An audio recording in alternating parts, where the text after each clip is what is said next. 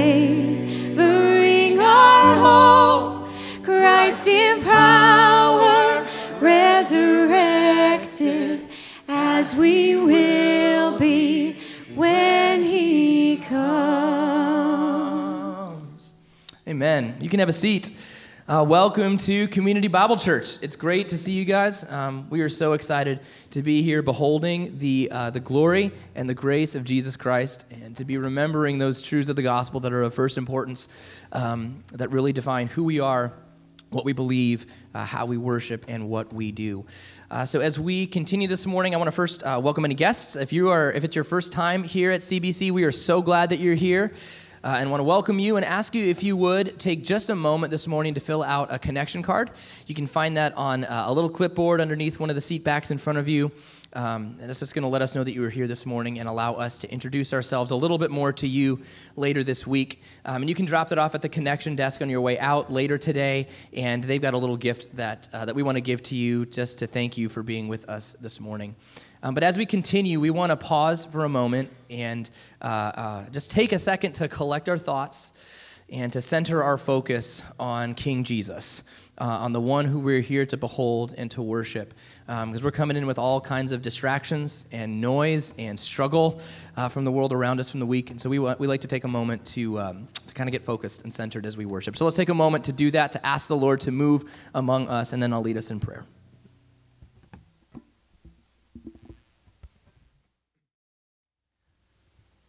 Father, would you help us to um, behold and to remember these truths that we're singing about? To remember the truths that have, uh, the, the, the things that have saved us and gathered us, the things that unite us. Um, to remember who you are and to remember what you've done for us as your people in Christ. And then I pray that we would, uh, uh, as we do that, that we would rest in Jesus. Uh, as we talked about and sang about and heard about last week, I pray that you would, would lead us to trust and to rest, lead us to joy and satisfaction that is found in Jesus. As we bring our nothing, Lord, as we uh, acknowledge and as we come uh, weary, broken, lost, and desperate apart from Christ, would you remind us of the work of Christ, the finished work of Christ on our behalf that has reconciled us to you? Remind us of the promise of, of perfect and final and eternal rest that is already ours in Jesus.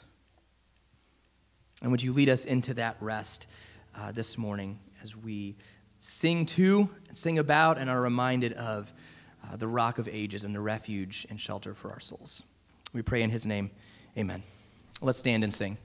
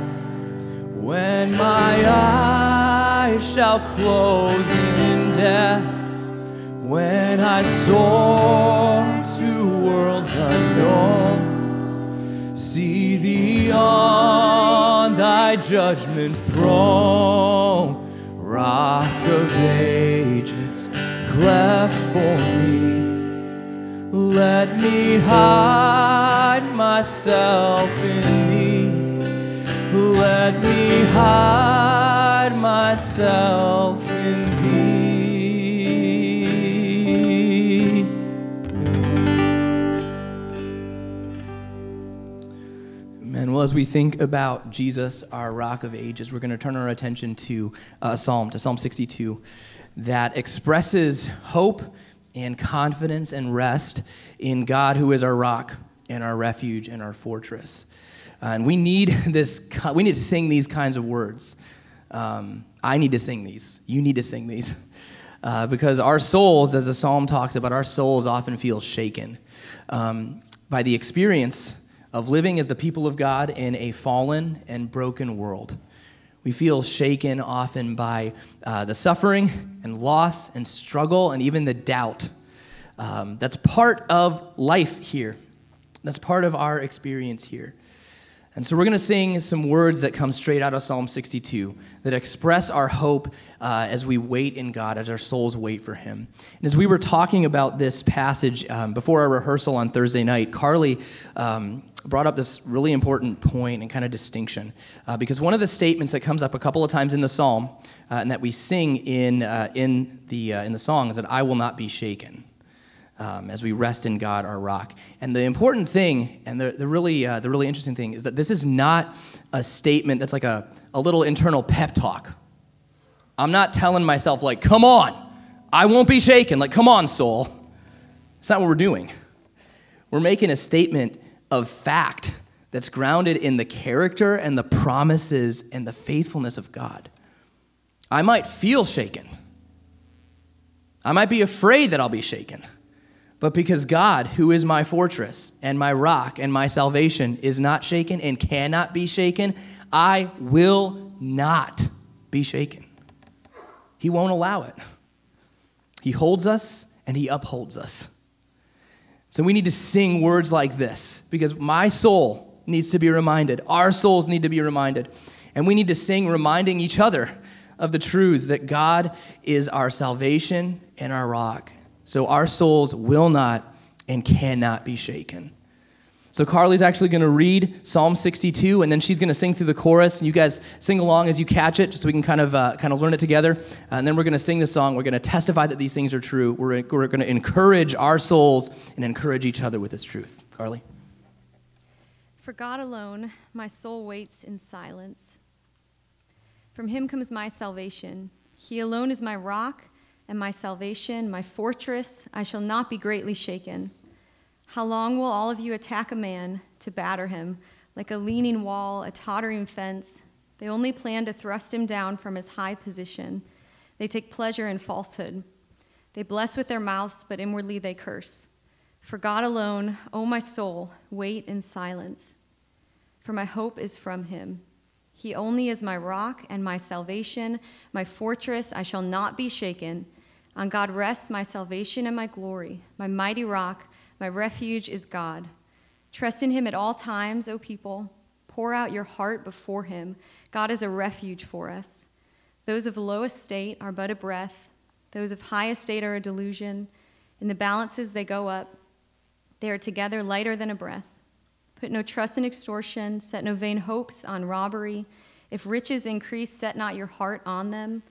Once God has spoken, twice I have heard this that power belongs to God, and that to you, O Lord, belongs steadfast love, for you will render to a man according to his work.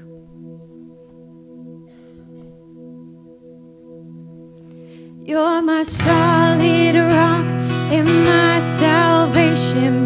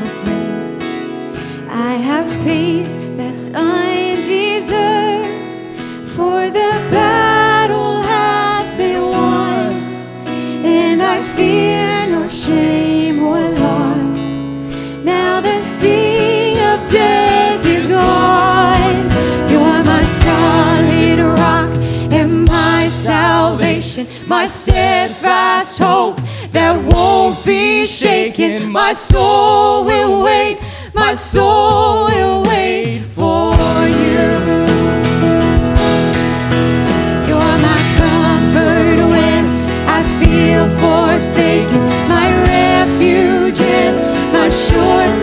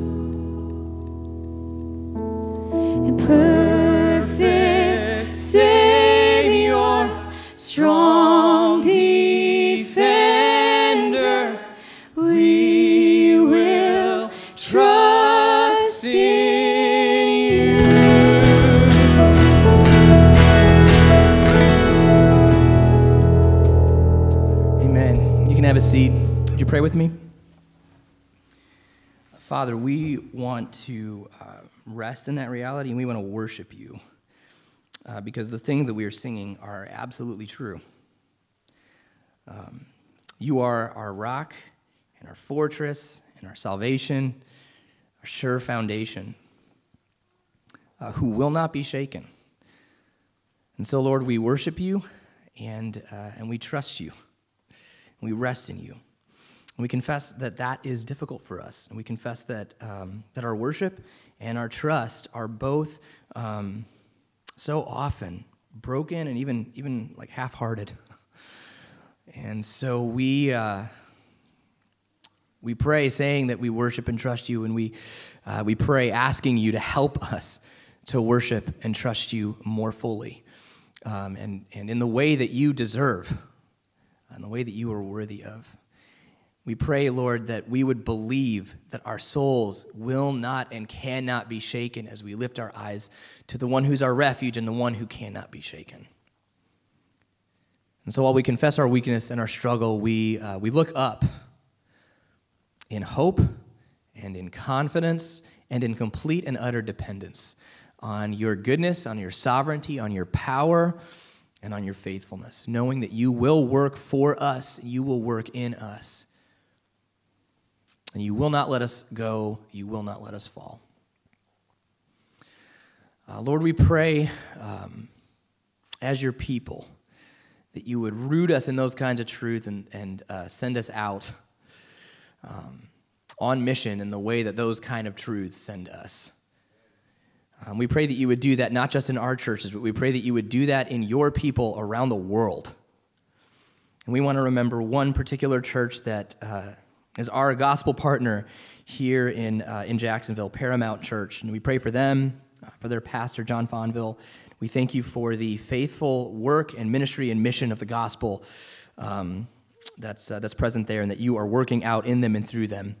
And we pray that you would continue to bless them and multiply their, uh, their discipleship and their worship and their mission.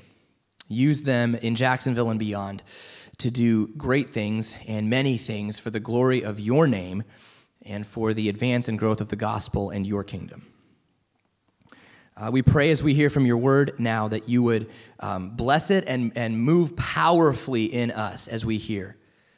Um, we know that your word is powerful and that your word is alive and that your word does not return empty, that it's going to do the things that you set out for it to do. And so we pray that that would be true in us, in each of us individually, and in us as a whole, as a church body. Uh, change us, encourage us, make us more like Jesus as we open your word together. We pray in his name. Amen.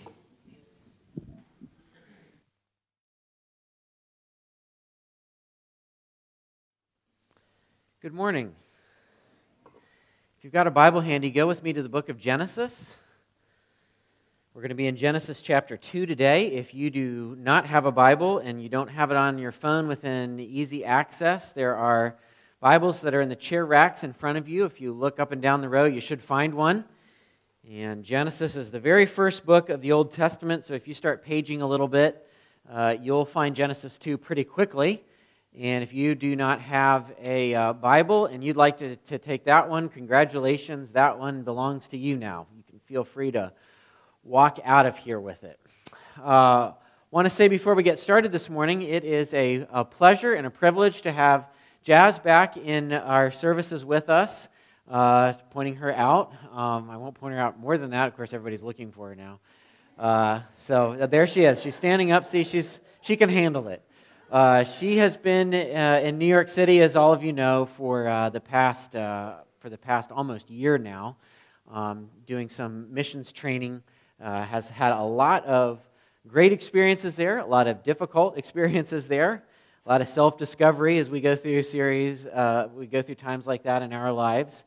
Um, but she has has already met with some of you who are some of her supporters, and I just want to encourage you uh, to see her today. If you have not had a chance to touch base with her, she'll be here after the service, and we'll be happy to, uh, to talk to you about what God has been doing in her life uh, as she has been in New York City and just has what, a month left? Roughly a month left, so not, not very long, and then it's on to the next thing. So we're very, very glad to have you with us today. We have missed you. Okay, she's missed you too, in case you couldn't hear that. All right, so you should be in Genesis 2 if you want to be able to be there and follow along with us today. I can still remember the feeling of excitement that I had when I was a kid whenever I saw a Disney movie starting. Uh, I can remember that the, the intro to every Disney movie, that this is the way it's always been, uh, but the intro to every Disney movie has this castle that appears. And back when I was watching Disney movies before animation was really invented, uh, that, that the castle that would appear in front of these movies was, was not as elaborate as it is now. It was just kind of that blue background, and it, this like line would, would go down the screen, and then like the white castle would be there, and a little thing would go over it. And, and I can remember being so excited as a kid when I would see that that Disney castle. You know, now it's much more elaborate. Uh, they've got if, uh, you, your point of view kind of comes sweeping down through the clouds. You can see this aerial view of whatever kingdom that is, and all the lights are on. It's twilight. There's this river running through it. Uh, uh a, uh, tra- a steam engine is like going over a bridge, and you can see the puffs of of steam coming out. And then, as, then the castle comes into view. And as you zoom away from the castle, uh, the lights are all on and fireworks are going all over it. It's, it's twilight. And it's just this, this, this gorgeous scene.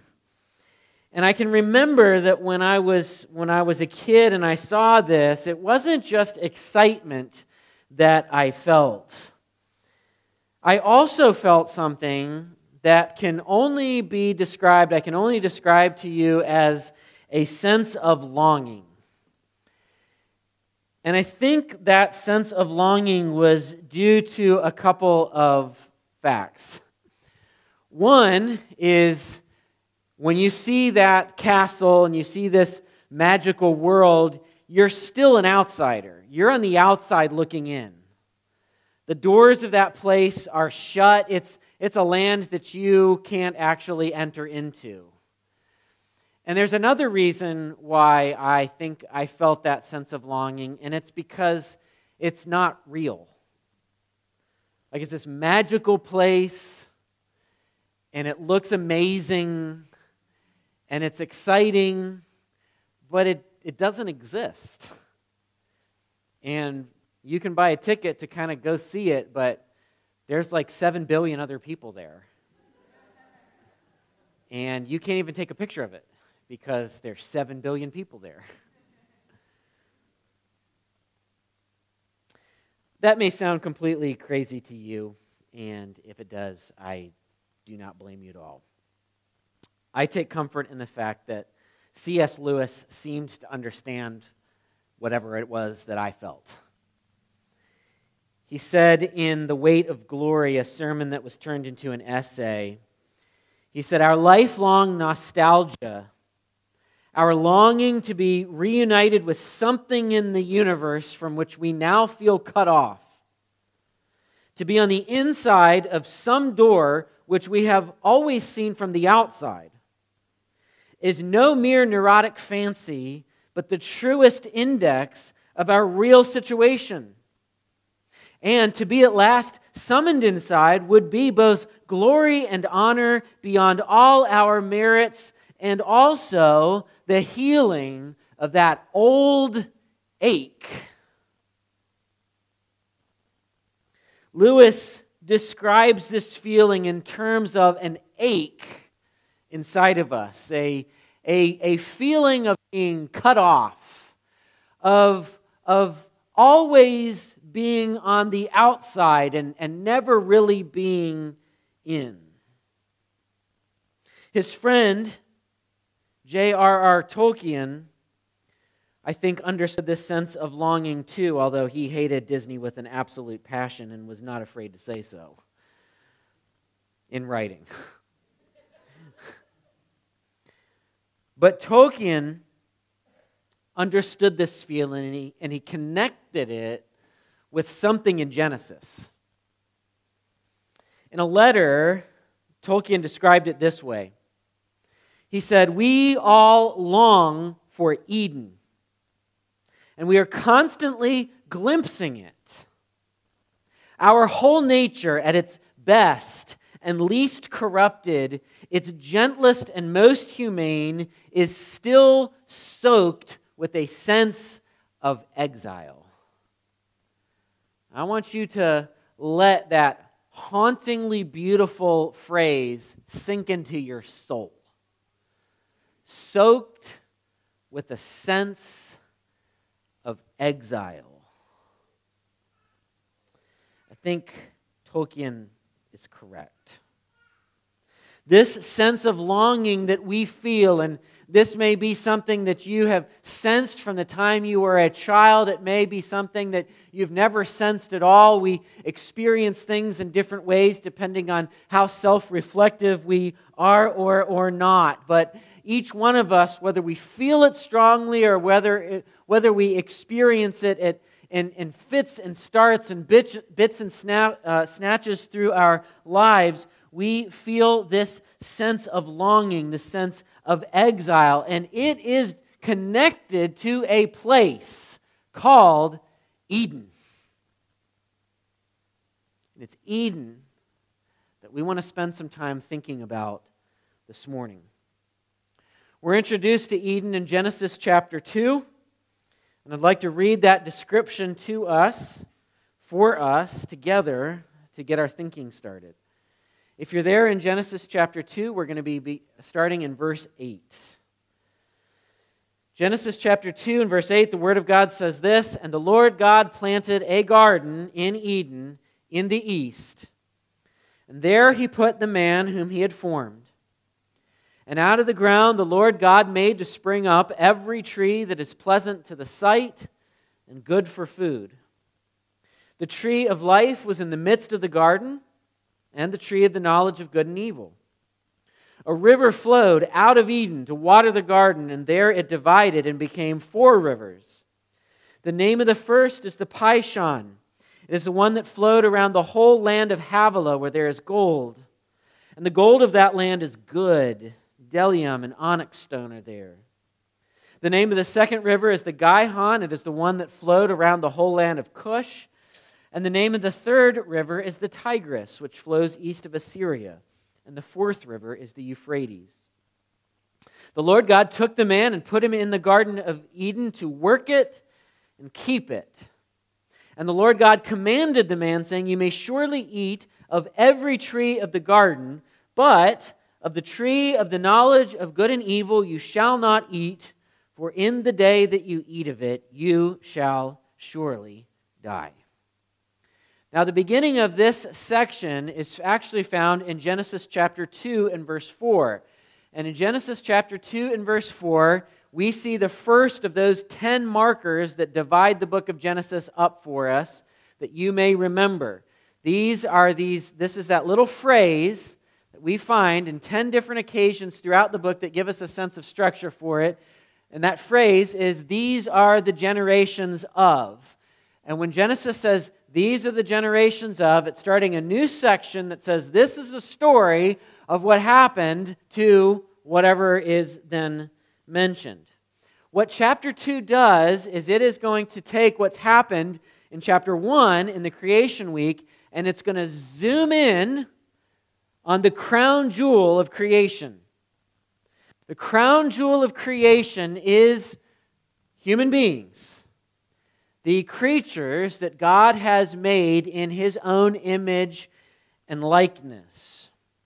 And so we're going to be looking in the coming weeks on what the Bible has to say as it zooms in on these human beings. But before we do that, I want to focus on the location in which these human beings were placed. And I want to make five statements about this place that are rooted in chapter 2 and then unfold, unwind, unspool themselves throughout the rest of the scriptures.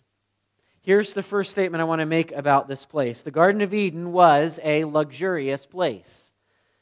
It was a luxurious place. Eden, the word, co- comes from a word that, that, that means pleasure or delight. Eden is a place, and the garden is in the place that is Eden. We sometimes think of the whole thing as, as that, but the Bible actually talks about the garden that is in Eden. And the Bible tells us that this garden is filled with trees that are both aesthetically pleasing, they're beautiful, and it is these trees are good for food. There are two trees that are particularly named in this garden. We have on the one hand the tree of life, and we have on the other hand the tree of the knowledge of good and evil. And of course, we'll have more to say about those trees in a later message. Verses 10 to 14, you might have noticed, kind of go out of their way to describe the luxury of this garden. There's a river that comes out of Eden that flows through this garden to make it a lush place, to make it a well irrigated place. And then this river itself splits up into four other rivers that, that send that abundance to the surrounding areas. And when I read about these four rivers, I immediately thought this is why that barbecue is so delicious. It's named after Eden. Uh, but it's not actually.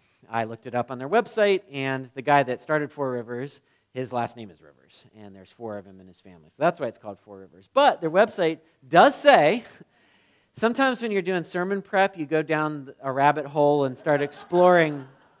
You start exploring all these things that have zero relevance to the, to the, to the sermon. So I did quite a bit of studying about Four Rivers Barbecue this week. Uh, and they do say on their website that uh, they are aware, the guy, the guy that founded it is a Christian, he's aware that, that Four Rivers also has something to do with uh, Genesis 2 that we talked about. So there you go. Uh, who says that wasn't relevant for the sermon? Okay, so we got four rivers that are, this river is dividing into four rivers. These are proceeding from the garden and they're irrigating the surrounding lands. And we're also told that the surrounding areas are rich with natural resources and, and expensive resources. There's gold to be found, there's jewels, there's, there's other things that are there. So the Garden of Eden, we see, first of all, is a luxurious place. The second place I want us to see the Garden of Eden was a workplace. A workplace. We see this luxurious place described for us, and it might be tempting to think that God created a resort.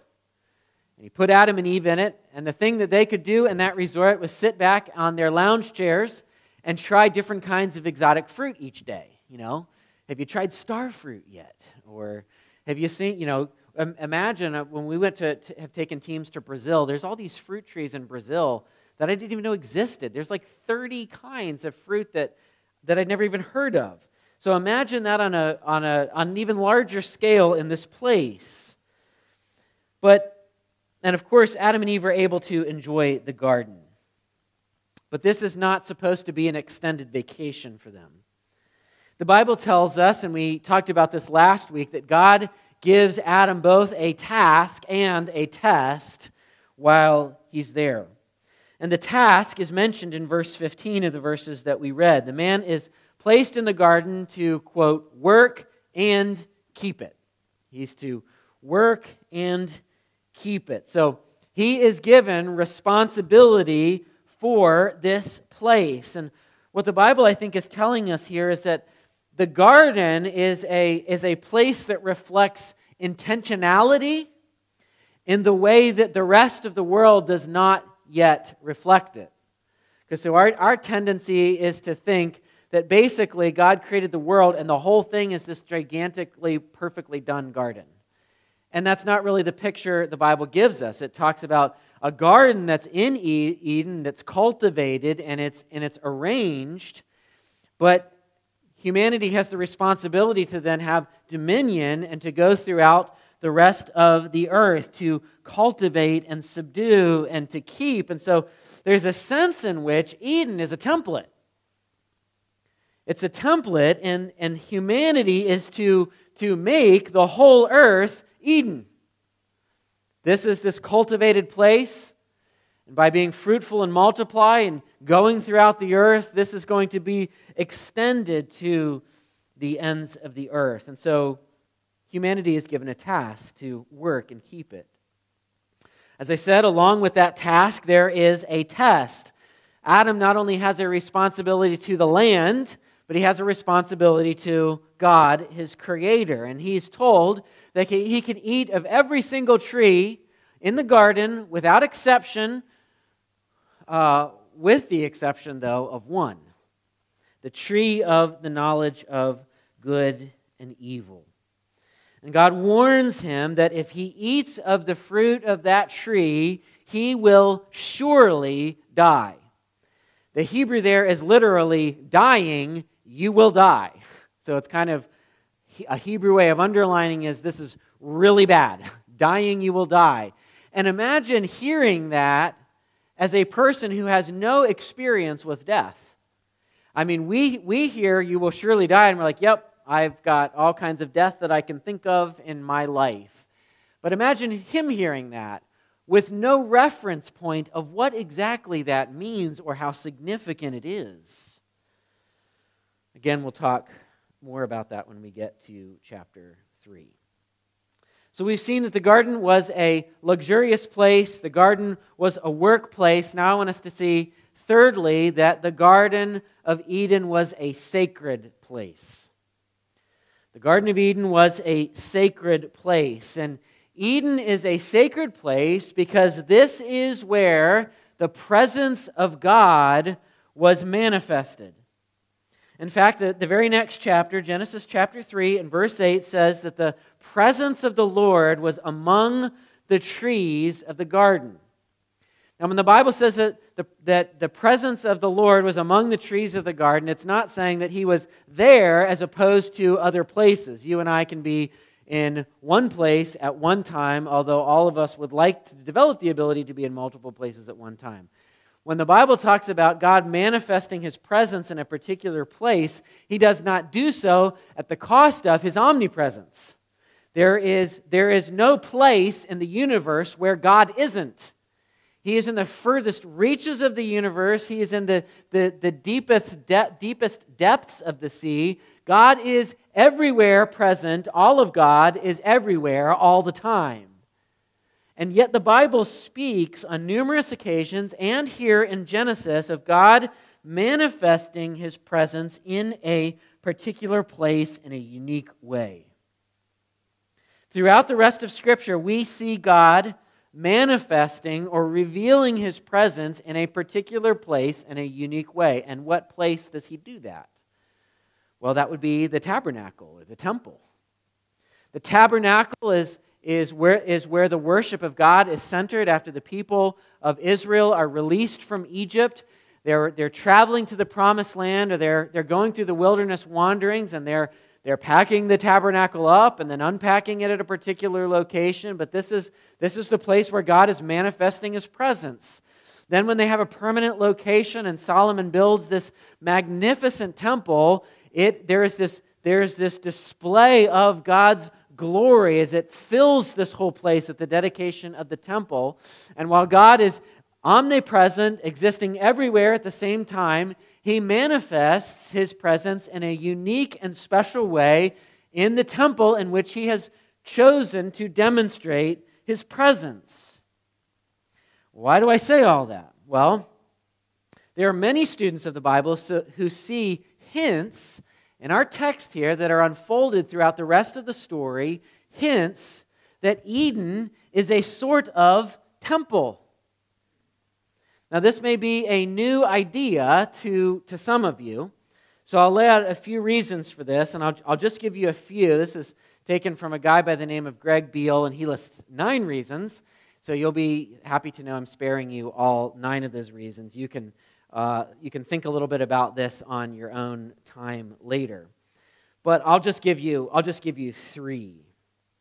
The first hint that what we've got going on here is more than just a garden, that this is a sacred place, that this is a, a sort of temple, is the language that's used here that then is used in other places throughout the rest of the Old Testament in a temple or a tabernacle context. Let me explain what I mean by that. One of the things we just saw in chapter 15 is that the Bible tells us that, that Adam is placed here to work and keep it, right? Those, that's, those are the words that are used work and keep. Throughout the rest of the Old Testament, we find those exact Hebrew u- words used uh, uh, a, a lot of times where they're also translated as serve and guard. Serve and guard. And the context in which we uh, frequently find those words of serving and guarding used are in the context of the priests serving either in the tabernacle or in the temple. And in other places in the Old Testament where these two words are put together like they are in our text, the context is always the temple or the tabernacle. So the priests had a responsibility as they're serving the Lord in his place to, to serve him and to guard anything unclean from entering the temple. Now, if that's a, a new concept to you, uh, you don't have a lot of biblical background, don't worry about that too much. We don't have time to tease that out. But the bottom line is one of the priest's responsibilities in the temple was to guard that which was unclean from entering into the temple, because the temple was a holy place. And so we have this same terminology that's used in those contexts. I'll give you a couple examples that you can write down to look at later. Numbers chapter 3, verses 7 and 8. 1 Chronicles chapter 23 and verse 32. And Ezekiel chapter 44 and verse 14. This, these words are put together in this kind of context. And as we're going to see, Adam has a responsibility to guard this place and when something unclean enters the garden, what does he do? Does he guard it? No. he doesn't guard this sacred place the way he was intended to do. So there's language used here that when we read throughout the rest of the Bible should spark us and say, well, wait a minute. I think I've heard this phrase before. What are the biblical authors trying to tell me? That's one reason. There's a second hint that Eden is a sort of temple, and that is the fact that, that the, the, uh, the temple and the tabernacle are decorated in ways that are meant to evoke the imagery of the garden. Out of all the scenes, out of all the ways that the temple, temple and the tabernacle and the priestly garments could have been could have been designed. They could have been designed with scenes from the wilderness wandering. They could have been designed with scenes depicting, depicting God's miraculous release from Egypt. They could have had people depicted on them. They could have had could have had other city imagery from the coming promised land put on them, but the imagery that is woven into the priestly garments, the walls of the tabernacle, carved into the temple, is all garden imagery. And so there's another hint there that Eden is a temple of sorts. There's another, a third hint that I want to point out to you. And it's the fact that, that, that throughout the rest of the Old Testament, God's temple is often spoken of as resting on a mountain. In numerous places, we, we see that the temple is described as resting on a mountain. God, the Bible talks about God's holy mountain. In fact, when you think about the temple site in Jerusalem today, it's called the Temple Mount. Well, there's a reason why it's called the Temple Mount. It's because in the Old Testament, it was conceived of as the temple resting on God's holy mountain. Well, there's a connection between Eden and a mountain because in Ezekiel 28, verses 13 and 14, it refers to the location of Eden as resting on the holy mountain of God. Now, I know I've just, I've just thrown a whole bunch of stuff at you real quick, and there's more that could be explored there than the time that we have allows. And I've got one more that I'm going to give you later on in the message. But suffice it to say that there are all these breadcrumbs, there are all these hints that tell us that Eden is a sort of temple where the presence of God dwells with his people. Okay, now, the fourth statement that I want to make about this place. In the fourth, in the fourth place, the Garden of Eden was lost. The Garden of Eden was lost. For those of you who are completely new to the biblical storyline right now, I've got a spoiler alert for you. So you might want to plug your ears. Humanity fails the test. Adam and Eve eat the forbidden fruit in chapter 3.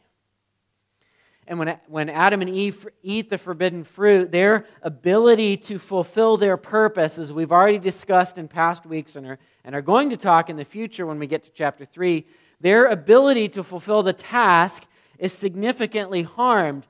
But there is an additional consequence that's, particular to, that's particularly relevant to what we are talking about today. Because not only are they unable to, fill, to complete their task the way they were originally intended, but they are ejected from the garden. They're ejected from the garden. And the Bible tells us why that happens in Genesis chapter 3. It's so that they would not eat of the tree of life in their corrupted state. The Bible says this in Genesis 3, verses 23 and 24. Therefore, the Lord God sent him out from the Garden of Eden to work the ground from which he was taken. He drove out the man, and at the east of the Garden of Eden, he placed the cherubim and a flaming sword that turned every way to guard the way to the tree of life. Now, when we read something like that, there's some perplexing imagery there about a flaming sword that's facing every direction, and we're not exactly sure how to sort all of that out. The point that I want to make to you today is simply the Bible telling us that, that mankind is ejected from Eden. And this is significant. And we need to understand why this is significant. When humanity is kicked out of the garden, if we stick with the Sunday school version of the story that we've been taught, we might, we might mistakenly walk away with the understanding that, that what's happening here is that there's this nice place that they can't live in anymore. And uh, it's, it's almost like, well, you can't live in the resort anymore if that's what you're going to do. But there's something more significant going on here than them simply being uh, kicked out of their uh, out of Eden. When humanity is exiled from the garden, remember the garden is where God's presence is. when humanity is exiled from the garden, there is also then an exile from God's presence. And that's the significance of what is going on here. It's not just that they have to file an address change with the post office, which is sometimes all it is to us. It is that, it is that there is something, something fundamental broken, signified in this ejection from the garden. And so, this is what Tolkien was talking about when he said that human nature is soaked with a sense of exile. You and I, whether we are consciously aware of it or not, were created for relationship with God, and whether we recognize it or not, we sense that brokenness and we feel that longing. We recognize that there is, there is something not right. And I may not be able to articulate what it is, and I may not be able to put my finger on it, but I am, I am disconnected with something fundamental to myself. I am, in a very real sense, on the outside looking in. There is an ache that we feel, and it is that sense of separation from our Creator. It is a longing deep within us for something that has been lost. It is, to, it is the desire to be brought back into the presence of God, to feel that relational closeness that we were created for once again. It would be a very sad thing if this is where our story ended. But praise God, it doesn't. And there's a fifth statement that I want to make to you. Number four, the Garden of Eden was lost. But in the fifth place, the Garden of Eden will be regained. The Garden of Eden will be regained. The reason the Garden of Eden will be regained is because the Bible tells us of a second Adam.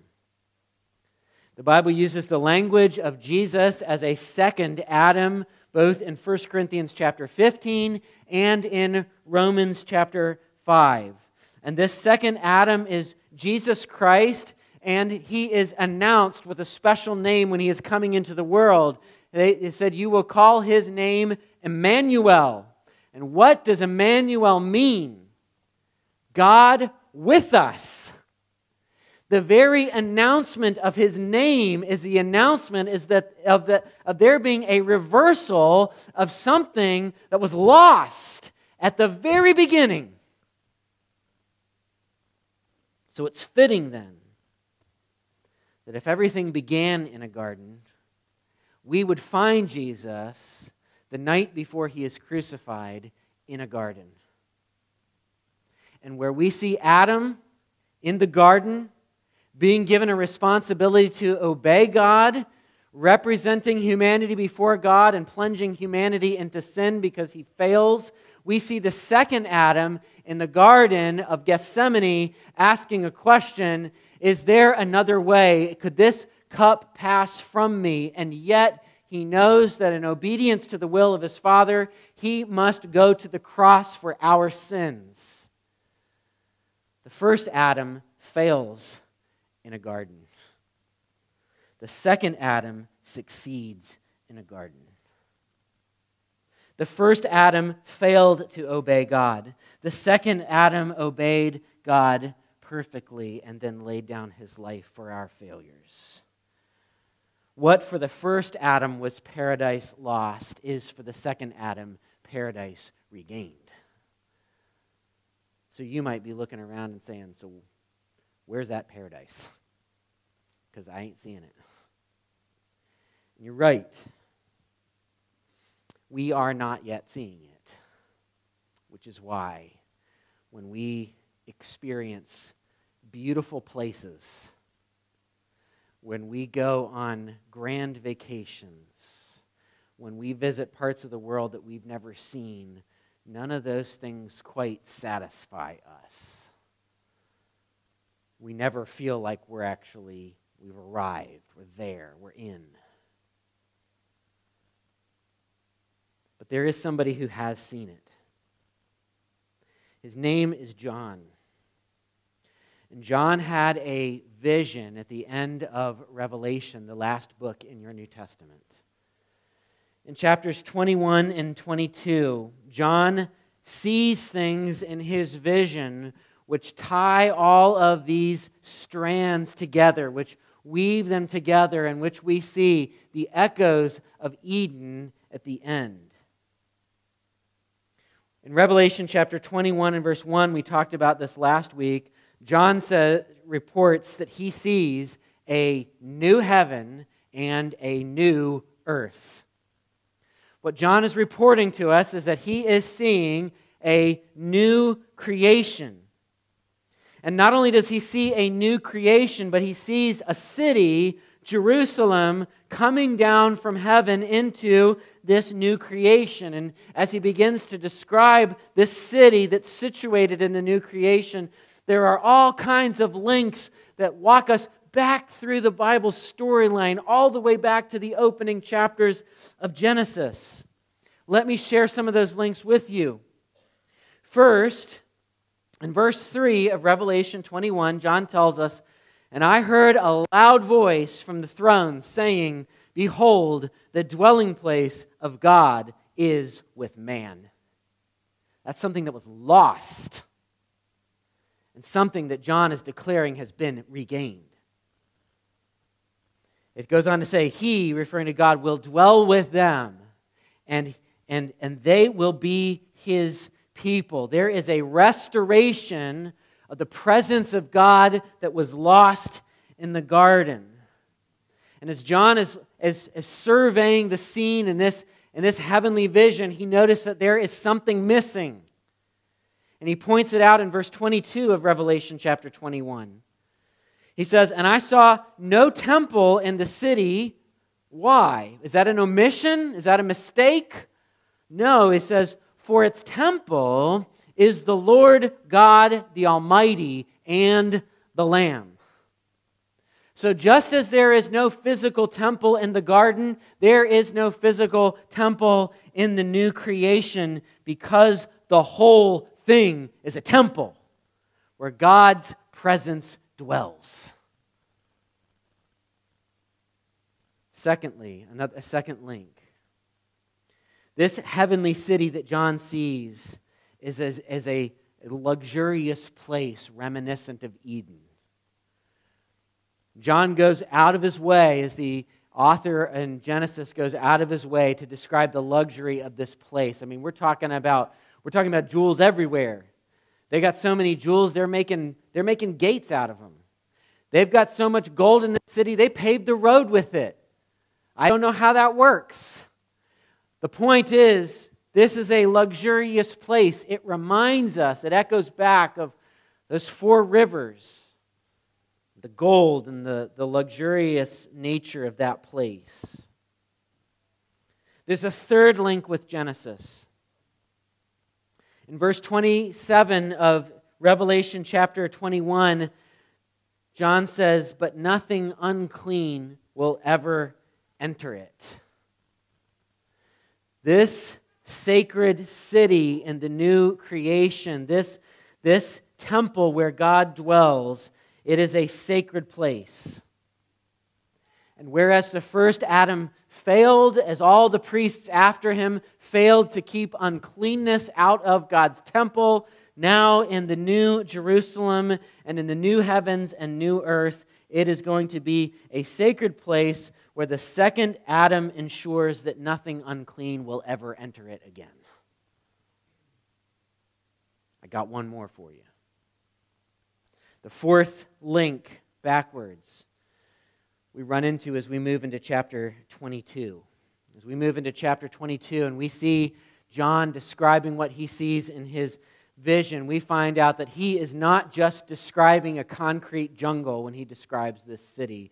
It is not steel and glass and concrete and sharp angles. This city has many features that echo Eden. It's unmistakable. Revelation chapter 22, verses 1 and 2 says, Then the angel showed me the river of the water of life, bright as crystal, flowing from the throne of God and of, of God and of the Lamb through the middle of the street of the city. Also, on either side of the river, the tree of life happens to make an appearance.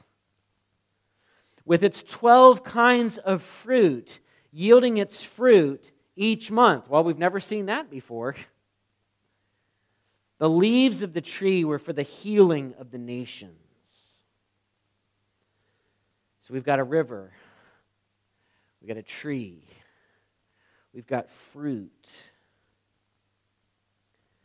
The new creation vision of Revelation is not simply the recovery of what was lost in Eden.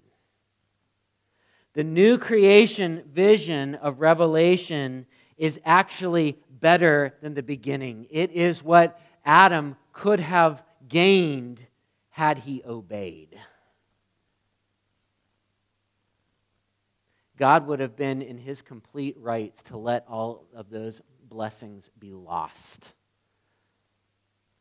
And yet the Bible tells us the second Adam comes not only to restore the beginning, to, but to give us something that is far greater than the beginning ever was.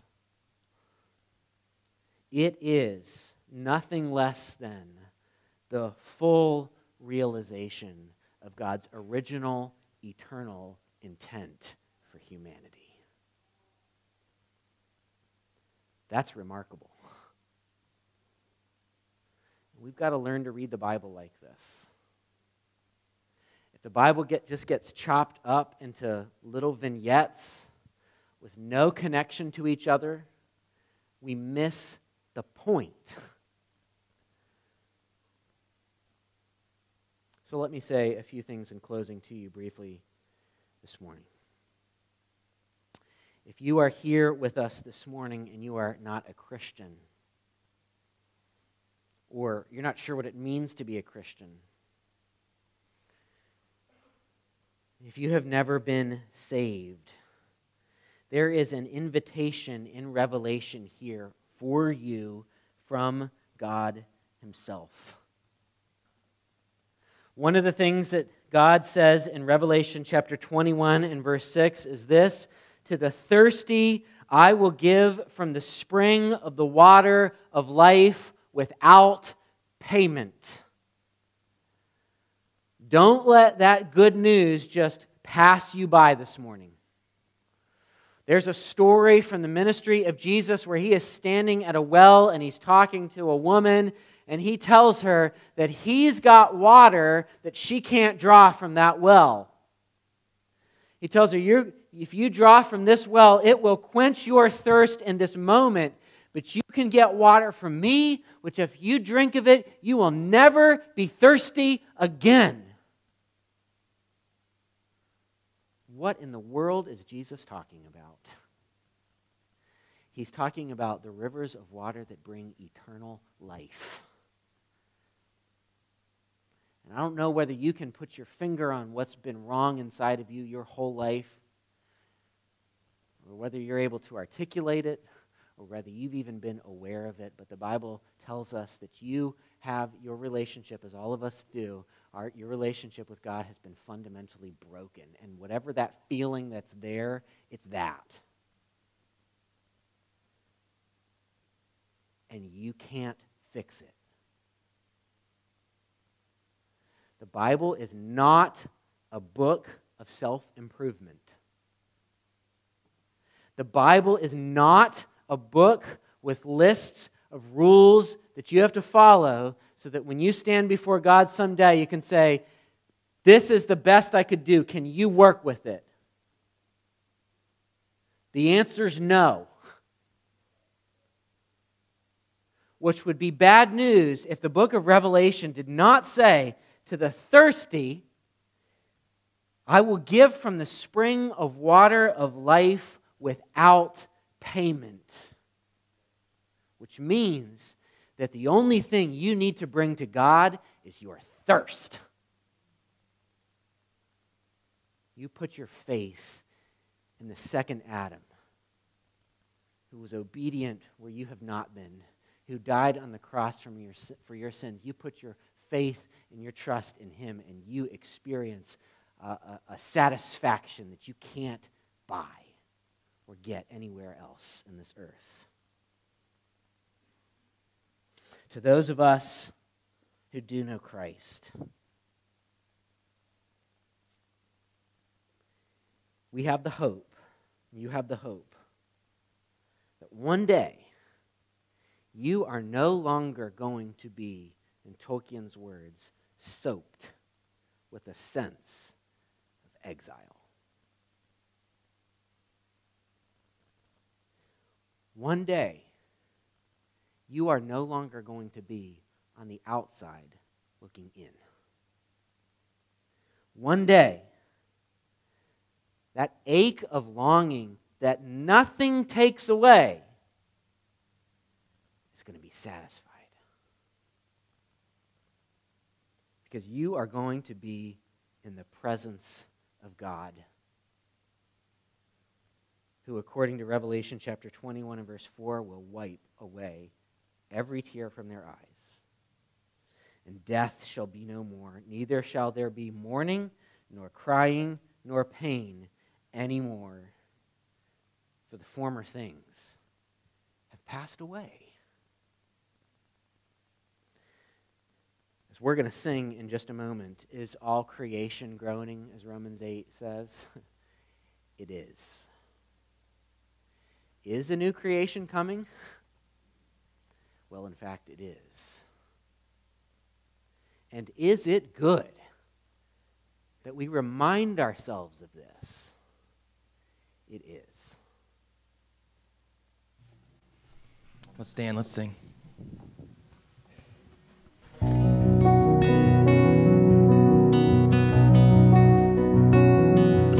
Do you feel the world is broken?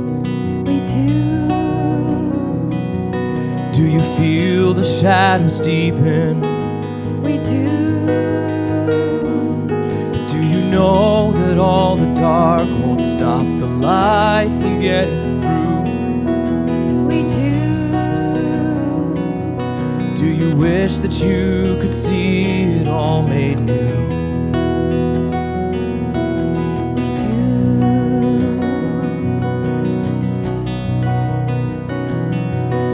Is all creation groaning? It is. Is a new creation coming? It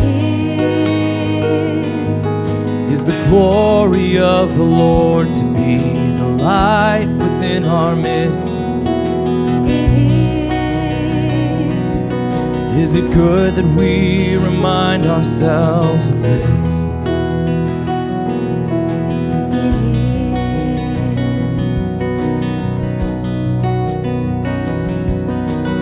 Anyone worthy?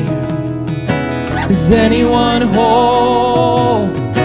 Is anyone able to break the seal and open the scroll? The Lion of Judah, who conquered the grave. He is David's root and the Lamb who died to ransom the slave. Is he worthy? Is he worthy of all blessing and honor and glory? Is he worthy of this? He is. Does the Father truly love us? Does the Spirit move among us? He does. And does Jesus, our Messiah, hold forever those he loves? He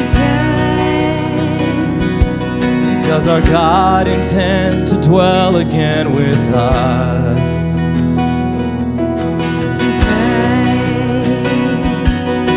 Is anyone worthy? Is anyone whole?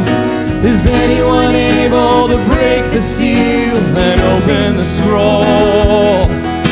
The Lion of Judah who conquered the grave.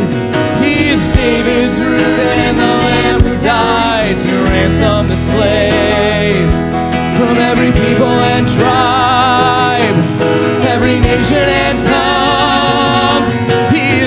made us a kingdom and priests to God to reign with the Son. Is he worthy? Is he worthy of all blessing and honor and glory? Is he worthy? Is he worthy? Is he worthy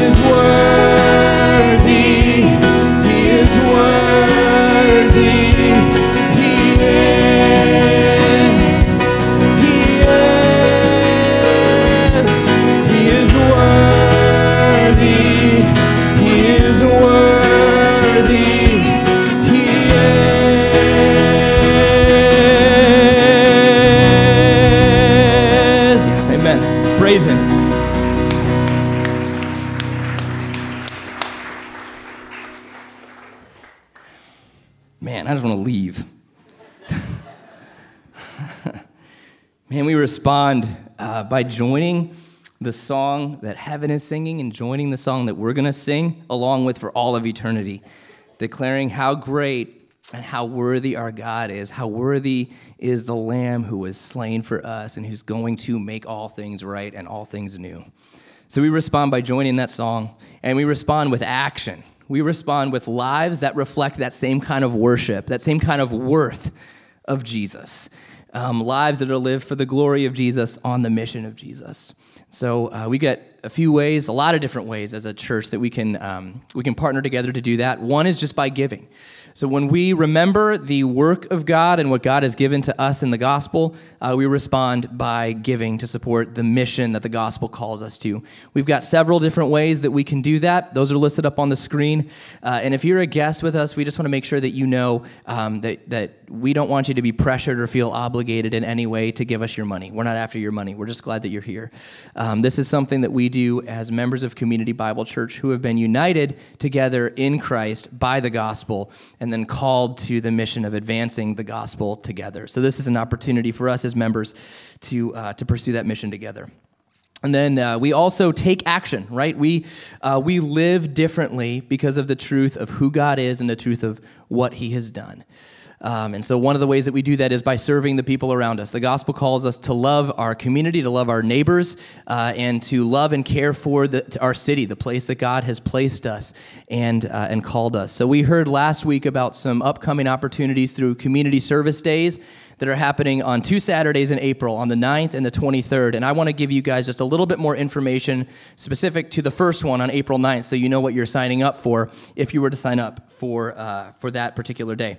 Um, so we're going to be partnering with a place called Seamark Ranch in Green Cove Springs, and uh, and they're doing a mud run that day. So uh, so we're going to help with uh, coordinating some of that. They need people to um, work the sign-in tent and booth, give out participant bags.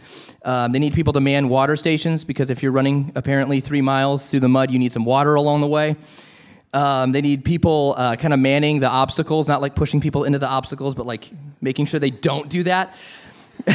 you know, uh, man the obstacles and kind of um, act as guides, keep people on the course, uh, and things like that.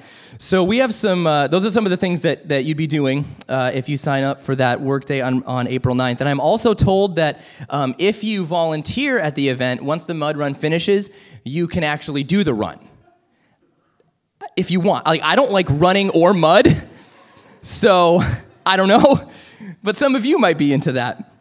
If you are, volunteer, and then you can do this uh, do this mud run at the end. Uh, but that's April 9th. We've got, uh, as I said, a, a, bunch more opportunities on the 23rd.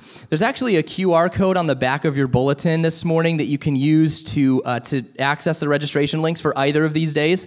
Uh, if you want to be part of these community service projects, Ross is also going to be at a, a small booth or table um, out in the Connection Center. You'll see him on your way out. And uh, if you have questions or you want to get registered for one of those things, follow the QR code or go talk to Ross on your way out. But we're really excited to, uh, to take a couple of Saturdays this spring to be out in our community, to um, uh, hopefully make some gospel connections with people that can lead to some gospel conversations, and just to love the people around us and serve them. Our benediction this morning comes from uh, the very end of Revelation 22 in response to all of the things that we have heard and sung and celebrated this morning. He who testifies to these things says, Surely I'm coming soon. Amen. Come, Lord Jesus. Go in the grace of our God.